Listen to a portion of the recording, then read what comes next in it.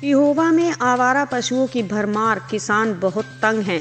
पिहोवा में आज उस समय नज़ारा देखने को मिला कि जब सैकड़ों गायें किसान पिहोवा में छोड़ने को आए, पिहोवा के साथ लगते गाँव हरनेचा के किसान सैकड़ों की तादाद में इकट्ठे होकर इन सैकड़ों गायों को पिहोवा में छोड़ने के लिए आ गए। जब इन किसानों से बातचीत की गई तो उन्होंने बताया कि यह आवारा पशु हर रोज़ हमारे खेतों में घुस जाते हैं।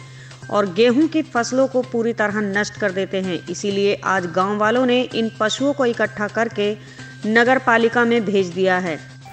सर ये बताइए कि ये जो आप गाय छोड़ के आ रहे थे यहाँ लेके जा रहे थे कहाँ लेके जा रहे थे? हमारे गाँव से लेके आया अच्छा गाँव से। वहाँ फ़सलों को बहुत नुकसान कर रहे हैं तीस तीस चालीस चालीस गाय इकट्ठी हो जाती हैं। सुमानपुर गाँव अनायता बटेड़ी के पास लग जाती हैं। और हमारा तार ला ला कर बैठना चुटाना बहुत औखो रह गया वहाँ पे। और यहाँ छोड़ने के कारण ये आगे वो बहुत तंग हो रही है। आप ये गाय छोड़ के कहाँ आए हो? छोड़ के तो गौशाला में जा रहे थे गौशाला ने गाय लेते नहीं है। वो तो कम से कम सत्तर सत्तर अस्सी अस्सी गायें हो जाती हैं। एक एक किला में बहुत नुकसान कर दिया।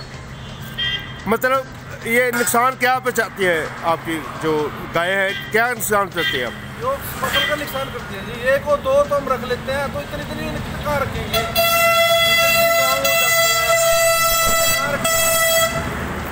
कहने का मतलब ये पूरे पे में आज गाय गायक होगी। तो ये बहुत दिन से हम तो रात दिन वहाँ बीस बीस आदमी नाका लगाते हैं हमारी फ़सल खराब हो जाएगी। तो इस करके माना तो यहाँ छोड़ने पड़ जाती, इस करके शहर में छोड़ने आए थे। भी एस डी साहब कुछ इनका करेंगे कुछ आज तो गौशाला में गए, गौशाला भी जवाब देंगे भी हमारे पास भी बहुत ज़्यादा गाय हैं। इनका सरकार समाधान करे